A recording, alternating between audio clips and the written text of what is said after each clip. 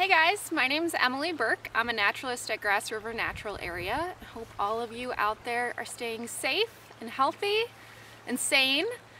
Um, today I thought it'd be fun to do a tour of a cedar swamp, which is also called a rich conifer swamp. It's the most abundant habitat type that we have at Grass River Natural Area. It comprises over 500 of our 492 acres that we have in the preserve. And it's important because it's super biologically diverse. Um, our cedar swamp has a floristic quality index of 69.1 and anything over 50 is deemed as having major biological value to the state. Um, and that number is just calculated based on the total number of plant species in any given habitat and also um, how specific each of those plant species habitat requirements are. All right, let's get started. All right, so here we have the cedar swamp's namesake uh, tree. These are northern white cedars. Um, and their bark is very shredded, almost like a cat went after them with its claws. And the foliage is, unlike a pine tree, which has, you know, like what we think of as conifer needles, um, a cedar has flattened scales instead. They almost look like they're braided to me. And once you get um, used to looking for that search image, they're really easy to identify. Um, and another thing about cedar trees is they grow in areas where the water table is really high. So they have really shallow root systems, which leaves them susceptible to wind throw or being thrown over, toppled by the wind. Um, and so that's a really important structural component of cedar swamps because uh, new cedar trees will actually sprout out of um, those logs, either because that's a way that cedar trees vegetatively reproduce as they can send up new shoots, or if the log, if the tree that was thrown over does die and starts to decompose, different tree species like new cedars but also balsam firs or tamaracks or maybe hemlocks will sprout out of that log because of the rich organic material that's starting to decompose in there and that, that's when um, those are called nurse logs. So Cedar trees are really important structurally because they make up most of the canopy in a cedar swamp, but also um, when they do fall over, they give rise to a lot of new vegetation. So here's a good example of a cedar tree resprouting vegetatively from an old cedar tree that was toppled over by wind. Um, you can see that the new sprout started growing to the left and then went whoop straight up right to the sunlight. Okay, so a common subdominant tree in the cedar swamp is balsam fir, uh, and that's this guy right here. They're pretty easy to identify. Um, they have these lenticles or lenticels on their bark, uh, which are basically bumped up like dashes all over the bark. Um, and there's actually gas exchange happening right here. So the tree is giving off oxygen and taking in CO2. Um, and then their foliage is more what we think of as conifer foliage looking like, as opposed to the cedar's um, kind of flattened scales. The balsam fir has uh, actual needles, um, and they're, I like to remember what balsam fir needles look like based on the term flat and friendly, which, um, you know, both start with F like fir.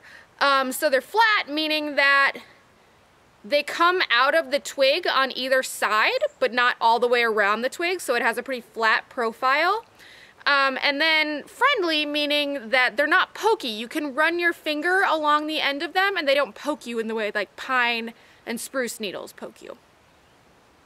All right, so the most dominant um, understory tree or shrub in the cedar swamp is a tag alder, also called a speckled alder because it has these speckles on the bark um, which are also lenticels, just like the balsam fir's bark.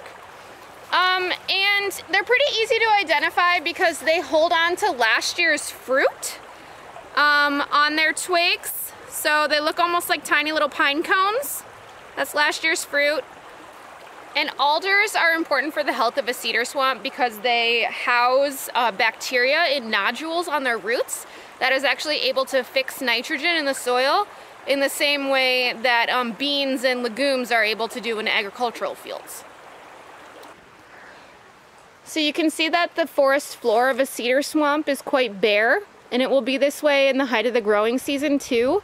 The reason for that is the um, alkaline soils here make it hard for things to grow here except those uh, species that are specifically adapted for this type of environment. There will be some ferns like sensitive cinnamon and royal ferns, and there will be some sedges. Uh, and in, in, addition to that, some plants that grow here are carnivorous in order to make up for those nutritional deficiencies that they can't get from the soil. So one example of a carnivorous plant is uh, a roundleaf sundew, and those work by attracting insects with the droplets of um, nectar-like substance on their uh, hairs. And then the plant will sense when the insect lands on the hairs and then it starts to kind of engulf the insect um, by wrapping the tendrils around and also starts to digest the insect until it's uh, insect goo and then it sucks it up and is able to um, absorb it into its leaves.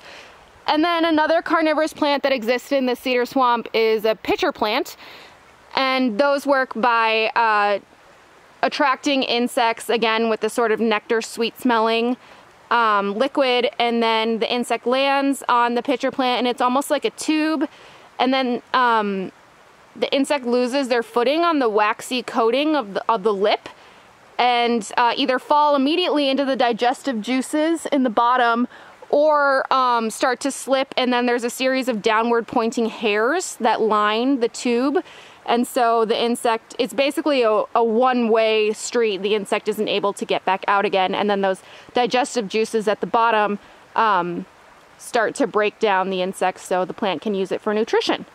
Um, in addition to those gruesome things, there's also uh, some really amazing wildflowers that exist in a cedar swamp, like um, quite a few orchids. We've got uh, yellow lady slippers, showy lady slippers, and purple fringed orchids, specifically in the cedar swamp. And then there are lots of other beautiful wildflowers. Two of my favorites are cardinal flower and monarda, both of which bloom in mid to late summer. So one of the common birds in a cedar swamp are pileated woodpeckers, those really big woodpeckers with the big red crest on the top of their head. Um, and these oblong holes right here are really indicative of pileateds uh, looking for grubs and bugs. So in addition to the pileated woodpeckers, other common birds in the cedar swamp are several species of birds of prey, like bald eagles, which use the creeks that run through cedar swamps. Um, also barred owls love to nest here. Um, also several species of hawks um, like red-shouldered hawks, which are threatened in the state of Michigan, and um, like sharp-shinned hawks and Cooper's hawks, which are really hard to tell apart. I saw um, one of them fly down the creek earlier just before I started filming today. That was pretty neat.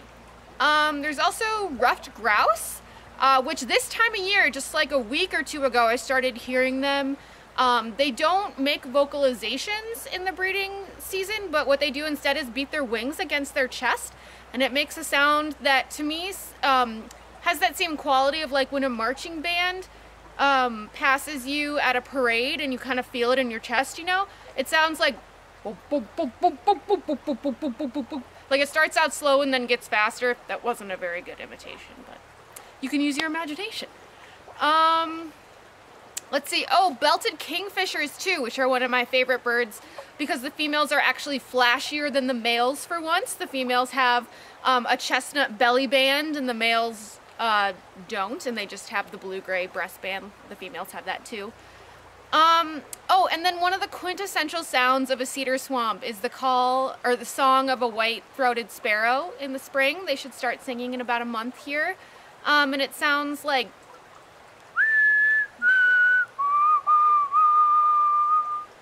and it's um, very clear, whistly. Um, you rarely see those birds, but you hear them a lot in the spring and summer in a cedar swamp.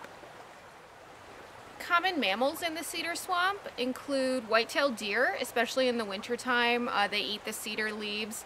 It's an important uh, source of winter food for them, but also the snow is generally less deep in a cedar swamp in the winter than it is in surrounding areas because of the really dense vegetation, so it's easier for the deer to travel. Um, also snowshoe hare are common here. They browse the balsam fir in the winter and where there are snowshoe hare there are bobcats. So you see a lot of bobcat tracks in a cedar swamp. Also uh, red squirrels which eat the balsam fir cones and they're kind of funny because whenever you walk by uh, they'll they do this really scolding sort of chattery sound like it's like and it always sounds so ferocious but they're so small that it's kind of cute um let's see also oh river otters which are fan favorite um, they frequent the creeks in the cedar swamp at grass river um, and then as far as amphibians go, we've got quite a few frog species that use the cedar swamp. In a couple weeks, uh, spring peepers, gray tree frogs, and wood frogs will start to call from the cedar swamp. And then snakes include the our only venomous snake in Michigan, the Massasauga.